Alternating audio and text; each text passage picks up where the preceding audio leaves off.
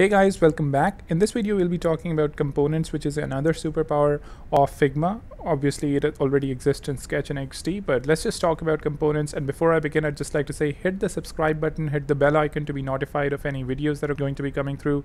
Do let me know in the comments if you'd like to see anything specific. But without further ado, let's just get started. So, what are components? Well, components are things that you create if you want to reuse a particular pattern, reuse a particular element, and you create a component out of that so you can reuse it in multiple places, yet control how it appears from one single master element. As an example, if I just get started, first of all, let's just go ahead and create a desktop page here and uh, let's just create a button component. So I'm going to say button text. Let me just uh, bring that down to 16. I'm gonna press shift A and as you can see I have I'm also gonna add like some icons to the left and the right let's just go ahead and do that and let me just add a background to it as well so we can see the background so here's the background I'm just gonna go ahead select these two and I'm gonna say that I want to use the font awesome pro icons so I'm gonna say this is gonna be the left minus arrow left or probably arrow minus left. And similarly I'm gonna go here and say arrow minus right. So we have th this button. And let's say I'm gonna give the spacing in between of these arrows to be 12 I'm gonna give the padding on the top and the left to be uh, top and the bottom to be 8 and on the left and the right to be I think 16 that probably looks good or probably 12 and then 16 so here we have a button. I'm going to give it a border radius as well. So we have a button like this and I'm going to disable the uh, the arrows by default you can disable them by pressing command shift H which is going to hide these. And I'm going to call this a button. So you can create you can make any frame or any object or any group or any vector a button by pressing the command option K key you can obviously convert it to a component by pressing this button here. So once you do that, as you can see, this is a component. And the way that you see it, obviously you have some properties here. You can add the description, the documentation link, add variants to it, which we will be covering in the next video. Uh, but this basically uh, converts into a component when you see it all purple like that. So when you have a component that's purple like this, which is an unfilled sort of a, a polygon or a rectangle or a square, then you can consider it an instance. If it's purple and it's filled like this, you can consider that a base component. So now let's say if we call this a button and now if let's say I have multiple instances of it, I'm going to place it here. Now imagine if I were to update the text, I, I can say updated button text. Now as you can see all of these properties are updating automatically the button is changing in multiple places and the power of this is imagine you have like let's say a hundred pages or a hundred uh, different designs in Figma. You can update the button. Originally, you can change, do some modifications on the original button, and all of these things are just going to be updated. So let's just do a Command Z to actually just delete these instances. One thing that I want to highlight is this button text that you see here. You, this needs to be unique. Currently, it's obviously just following whatever is written there, but I'm just going to go ahead and I'm going to rename it to uh, button title or anything along those lines. Now, as you can see, if I let's say updated, this particular thing is not changing. So you can consider this a value that's that's now going to remain consistent. And let's say if I go ahead and have a button here I can just update it and as you can see the button title is consistent here as well I'm going to talk about like why that is important uh, as we move on in this video but let's just talk about how we actually go about like making this even more powerful so I'm going to go ahead and I'm going to create a, a button component that's going to have vari various uh, properties applied to it. As for example it can be secondary it can be primary and it can be tertiary. So we're going to have three styles. By default I'm going to say that this button is actually the base structure. So I'm going to do that to actually have a singular base structure uh, being applied to my component styles so I'm going to go ahead, I'm going to duplicate this by pressing the op the option key. If I press the option key, it obviously creates an instance of this button. As you can see, it is an instance. Now I'm going to again give it a uh, press. Gonna, I'm going to press like shift minus A to create an auto layout on top of it. By default, auto layout actually applies these properties to it I'm just going to make it 0 0 so and just going to go ahead and I'm going to say this is going to be a button slash primary now slash is important because that's going to define that this is a property of a button so we have a button and then we have a property uh, named primary. I'm to go ahead and make this a component as well. I'm to press enter to select uh, obviously I can just open it and then select the inner child. And I can go ahead and I can change this button background to be let's say a darker shade of blue. And I can say that this text is to be let's say white.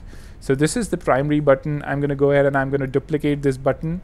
I'm to uh, as you can see this is an instance of the primary button. I don't want this instance particularly here I just want to go ahead and create a separate button which is going to be the secondary button. So I can detach this component by detaching uh, you can also detach it by pressing the command option B key. So now it's detached it's a simple frame. Obviously we have this base structure in there which we actually want. And I'm gonna name this secondary and I'm also I'm again gonna create a component out of this. So now this is the secondary button. I'm gonna go ahead and I'm gonna say there are going to be some updates to the styling here. I'm gonna say the button uh, back the button text can be blue 600 and the button fill is going to be white and the button border or the stroke is actually going to be blue 600 and I'm going to make the stroke 2 pixels. Now you can see this is our secondary button and I'm going to go ahead and create another button here. I'm going to detach it and I'm going to make it tertiary and I'm going to again make it a component and for the tertiary button I'm just going to say hey it doesn't have a I'm going to press enter to select the base structure thing I'm going to say it doesn't have a stroke but the um, let's say the background for this is going to be a really light blue or something along those lines. So this is going to be our tertiary button. Obviously it's created and I'm going to create another button that's going to be a disabled button. So I'm just going to go here. I'm going to say this button is first of all detach it. I'm going to say this is disabled. I'm going to press enter to select the child. I'm going to remove the fill.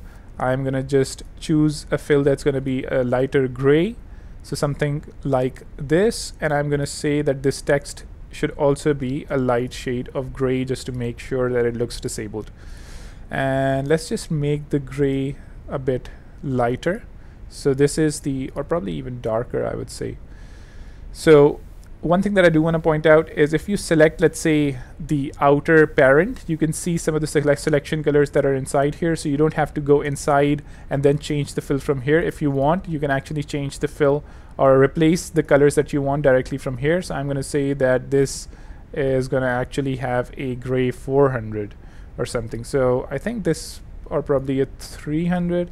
I think this looks fine now. This is a disabled button. I'm going to again make it a component. And here you have multiple components that are being used. I can go ahead and I can drag this button. I can say, uh, I love this button.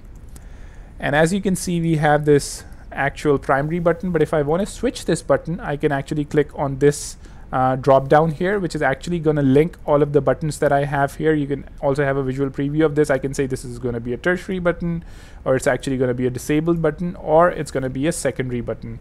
And now the important thing here is for example is the text is actually uh, remains consistent the spacing remains consistent based on whatever we have set here and the the useful benefit of the base structure is since the base structure is actually being applied on all of these buttons I can go ahead and I can make any padding or font sizing or spacing tweaks in the base structure and those are going to be applied throughout all of these buttons.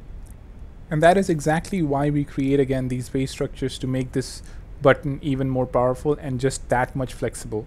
So one thing that I do want to talk about is imagine we can have like multiple properties here. So we have button primary, secondaries, button secondary, let's just remove this instance, buttons primary, secondary, tertiary, and disabled. We can also have multiple styles. So if you want to have, let's say multiple styles, you can say, I don't know, like button disabled slash a small and similarly, you can just have a lot of these things. But the problem with that is then you're going to have a lot of these instance here instances here and it's going to be really hard to actually choose all of these things from this particular list. And that is exactly why we use variants.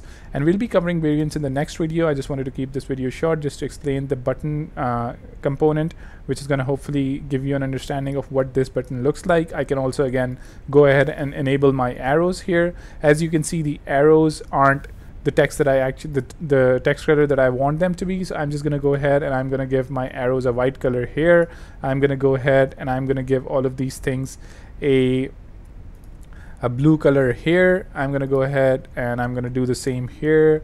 A blue 600 and similarly I go here and I'm gonna say a gray yeah 600 or whatever it is. So now let's say if I go ahead and if I change this button as you can see the icons also appear there. And I can also again change these icons. I can say this is going to be the home icon and this is going to be I don't know flash icon. So now if I for example go ahead and change the buttons you can see even the icons are preserving their original state everything looks good and yeah just that's just the power of components. In the next video we'll be covering variants and we'll be talking about how they take components to the next level so definitely do check that video out as well. Uh, but yeah that's pretty much it. Don't forget to subscribe don't forget to hit the bell icon uh, don't forget to like and if there's anything specific that you don't get or would you or you would like me to cover then definitely do let me know in the comments. Thanks a lot